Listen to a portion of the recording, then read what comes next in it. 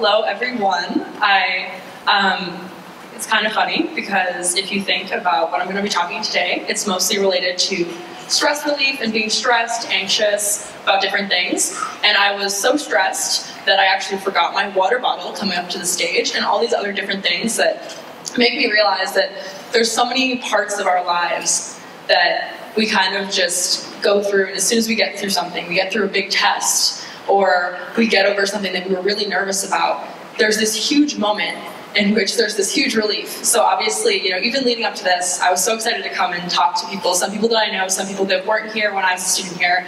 And I think to myself, I really wanted to come and stand on the carpet, but I was planning on standing at the podium because I have all these notes. Um, but I hope you guys don't mind. And I just want to tell you a little about one of my hobbies. So I talked about being interested in the neuroscience of sleep. And the reason that I didn't want to prepare any slides for today is because I think one of the most important aspects of sleep and important aspects of dreams is that there's this component of creativity. And when you're in your own mind and you're trying to be imaginative, I'd like you guys to join me. And in some of the things that I'll tell you, I might tell you to close your eyes and think about a certain situation. Uh, because a lot of times, the thing that I like doing, which is lucid dreaming, as you can see from my title, um, it's kind of something that you need to be creative about, and I'm gonna teach you guys how to become lucid dreamers yourselves. So I hope you guys enjoy, and if you guys have any questions, I'll say my email at the end, and you can email me, and I'd love to stay in touch, especially with um, some people that are here at BCA, because I mean, I don't know, the school is changing so much, these blue lights are really cool in the auditorium, uh, but I still feel like I have such a strong connection with all of you, and I love coming back and talking to everyone. So, uh, to start off, there's a huge industry that's growing today with stress relief. Obviously, you've seen the advertisements for whether it's yoga classes or stress relief candles. There's all sorts of things that are going on. But one of the biggest things is meditation. And so meditation is kind of has a pro proposed connection to being able to benefit specifically Western society because there's this obsession in Western society with individualism and trying to be a leader on your own and not really necessarily working as part of a team. And this is different in other cultures where I remember once I actually visited Japan with Bergen Academies and we watched them set up an auditorium in minutes, all these chairs in perfect rows because everyone was working to blend together and work as a team. And so there's this aspect of when you're here and everyone is told to like do your own individual best, be your best person, and there's kind of this competitive aspect of competing against everyone else there's this weird feeling of kind of being alone in that sometimes. And so meditation is specifically a time or a practice in which you can kind of sit alone. There's lots of versions of it. So you could just be sitting, uh, breathing, and breathing in and out slowly. You can have guided meditations. You guys have probably heard of Headspace. It's an app. Um, you can have a membership. A lot of people at school do it. It's uh, pretty cool, actually. I've never done it mostly because last semester I was privileged enough to take a class on mindfulness meditation, and we had guided meditations once a week. Um, and so I actually found through this class that there's this really weird connection between mindfulness meditation and something that I have been doing my entire life, which is lucid dreaming. So, um, the definition of mindfulness is really debated in the scientific community. It's kind of like one of those things where you know what something is, but no one really knows how to categorize it. Uh, this happens a lot in science because, specifically in psychology, uh, if any of you guys are taking AP psychology, I remember there were so many definitions where I was always kind of like, wouldn't it just be easier if we talked about this in a practical, experiential term? But instead, there needs to be this scientific definition that's given to it, the way that it is framed. And so, interestingly, um, there's a scholar called um, named Scott Bishop, and he was the lead author on a paper that had this opera operational definition for mindfulness. And he said that it was composed of two components, which was one, self-regulation of attention. And so, like I'm saying, there's these words. They're kind of inaccessible when you think about it, because when you hear me say self-regulation of attention, you don't think of what it actually is, which is being aware of your surroundings and being aware that you are aware which is the main thing. And so the second component is orientation to experience. And so when you are practicing mindfulness, one of the biggest components is actually you need to be open to being curious. And this is really important because there's kind of this uh, idea that it's has something to do with being non-biased in terms of interpreting your surroundings. And you know, if you hear things that you're used to hearing, usually you would just not notice them. But when you're practicing mindfulness, you're supposed to take that into account and say, this is a stimulus that I get, and I'm going to recognize that it's there and kind of not think about it, but focus on it. And that's supposed to allow you to just become one with yourself and kind of get away from the stresses that are constantly going through your head. It's kind of called the wandering mind, which is definitely a thing I found out. I thought that, oh, mind wandering isn't that relevant. And my professor sent out a survey where randomly each day for a week we would get an email and we had to click on it and immediately say whether when we received the email were we thinking about what we were doing or were we thinking about something else and this is really relevant because I think that when I was younger, I was constantly thinking about what I was doing. But as I grew older, there's things that I need to focus on in the future. I'm trying to think, what am I going to talk about in the next portion of this talk? Things like that. But when you're actually in the moment, uh, you can kind of get a lot more from certain experiences. The whole stereotypical live in the moment thing is kind of a way to phrase it. But more differently, you can think of it as not allowing yourself to get stressed out and anxious about these upcoming things. And obviously that's hard because I myself am not very good at living by that rule. But I found that mindfulness really did help me. Uh, when we did practices every week and I tried to do it every day, I found myself kind of becoming uh, surprisingly less scared of sleeping before my homework was done. And this was because I would, you know, I would try to work around my schedule and put myself first. Um, I obviously understand that this is hard, and I remember being at BCA and staying up late and doing homework, and um, it's the same way now. I just say that now having this concept of trying to live in the moment um, and trying to not focus too much on what's making me anxious in the future, even though this will happen in the most stressful situations. I think it's really good to see, wow, you know, I can go to bed now. And when you tell yourself you can go to bed, like, it's very nice. Because I personally, like I said, my hobby is sleep. So I enjoy sleeping quite a lot. So I love to tell myself it's okay to go to bed and just wake up early in the morning and do my homework then doesn't work for everyone, and I often do sleep through my alarm, and so it doesn't always work for me either. Um, but this was a new perspective that I brought after practicing mindfulness. Uh, so, um, it's important to mention the origins of mindfulness and some debates that are also happening about that. Uh, mindfulness comes from Buddhist tradition, and so it was uh, founded in Southeast Asia. It's really important to keep in mind that mindfulness was kind of taken by many Western companies and just plucked away from an entire spiritual convention. Uh, there's many things in Buddhism about morality, and uh, you probably have learned about the Eightfold Path and all these things that you need to follow alongside mindfulness practice in order to attain um, basically moral righteousness and escape the cycle of reincarnation. And so many people have debated that you should not take mindfulness, the practice, away from its roots, which is things like being a good person basically simplified.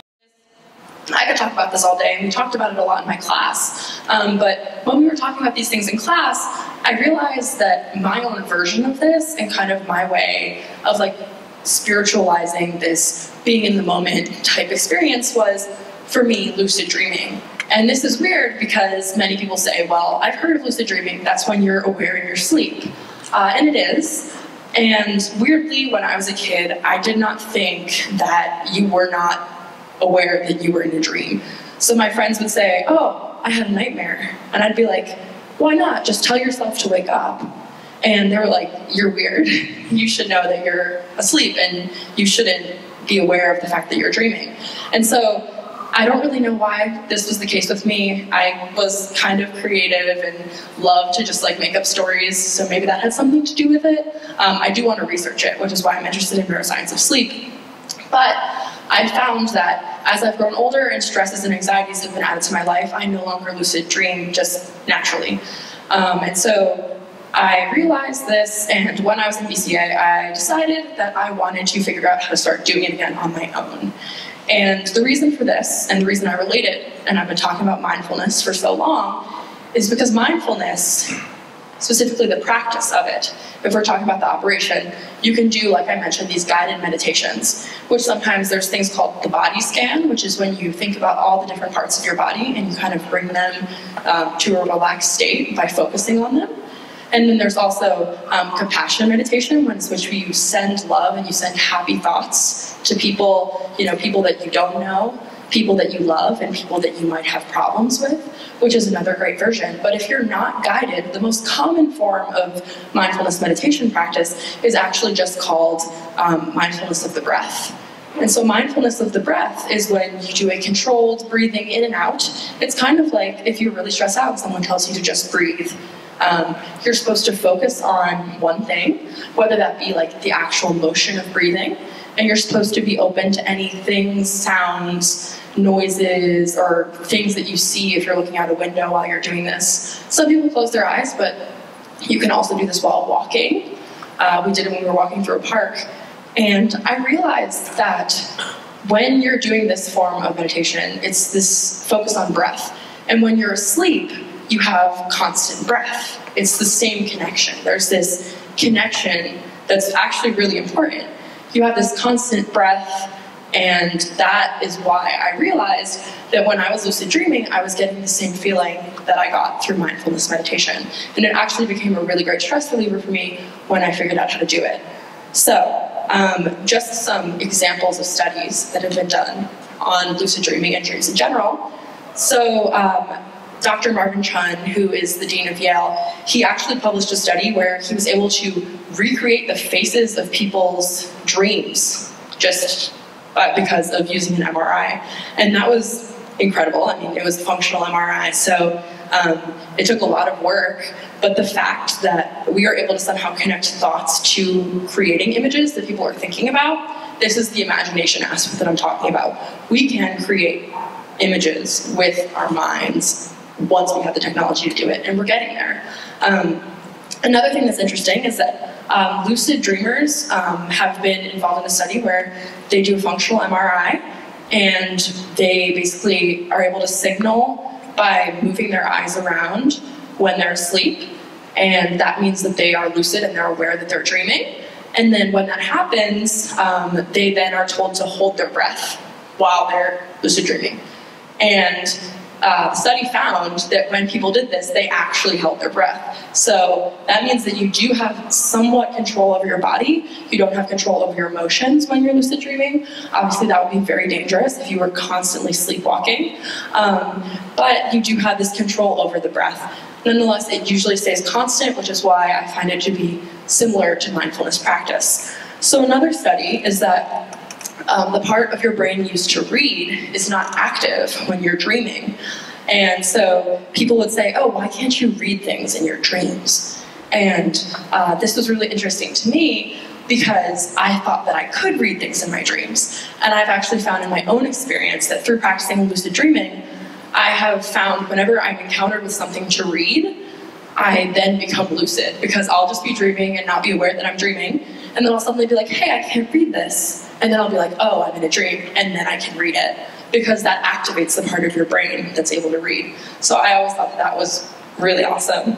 So my own experiences, I kind of used that as a way to kind of like figure out that I was dreaming in the middle of a dream. Um, but usually, what happens for me is I'm able to start lucid dreaming after I wake up suddenly, or I'm in a room with lots of light when I fall asleep, if I'm napping during the day. Usually, if you were like doing a lot of activity, like doing your homework right before going to sleep, that's usually the best kind of thing to induce lucid dreaming.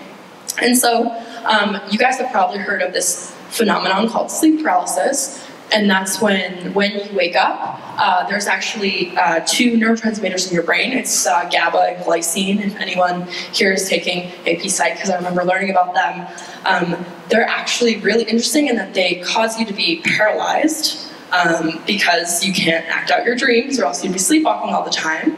And so when this occurs, this sleep paralysis is really interesting because it uh, makes it so that sometimes when people wake up, they can see their surroundings, but they might start having hallucinations and they can't move.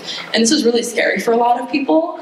Um, but what has happened to me personally is the exact opposite. So I once was awoken by someone walking into my suite when I had just fallen asleep on the couch last year, and I, someone was hugging me in a dream. And I opened my eyes, and I could still feel as if I was moving in the dream, and I could still feel someone hugging me. But I was aware of the fact that like I, my eyes were open, and I couldn't move. But it was so cool because I closed my eyes and I was back in the dream. So I found this just incredible. This is something that I think should be studied, and I think it's something that's also cool because a lot of people want to lucid dream because the coolest part of it is you can control your dreams once you get good enough at it. So you can kind of just like make your own imaginative realities when you're asleep. Um, so that, some of my own experiences. Um, when I first started trying to lucid dream, interestingly, I had a bit of a problem. That being that um, I was able to figure out that I was dreaming, but I was not able to control it. And so one time I was in a room, I figured out I was dreaming. I said, okay, so I'm going to start trying to control my dreams. And I said, I want a hot tub in the middle of the room. And the hot tub appeared, but it didn't have water. I was like, why on earth is my brain so mean to me? It's my own conscious kind of stopping me from fulfilling this goal I have of creating this really cool experience in my own head. And so that's another thing that I think needs to be studied. And all of these things really are not studied. It's kind of a new territory in neuroscience. There's limited studies on lucid dreaming.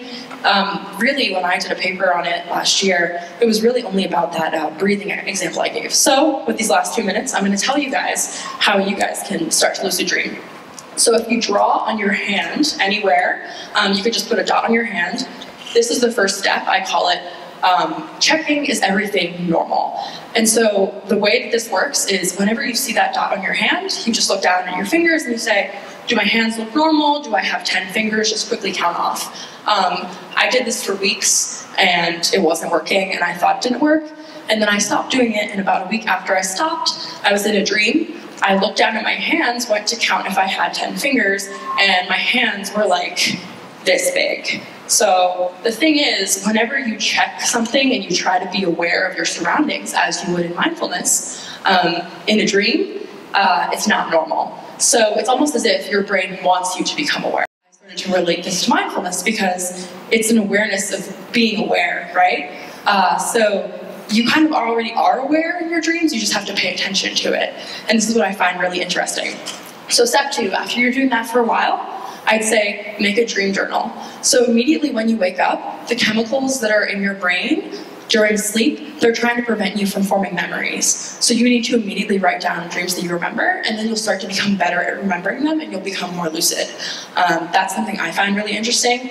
It's kind of hard to do, especially if you're usually waking up in a rush to get to class, but I've had a lot of fun doing it nonetheless. And then finally, find what works for you. For me, what works is reading things, like I said. Um, it works out really nicely and then I figure out, oh, I'm asleep, and then I start to lucid dream. So there's some pretty cool benefits. With lucid dreaming, you can return to dreams after you've already woken up. You'll be able to not wake up if you hear noises and incorporate noises into your dreams, and then you'll feel more well rested, I find.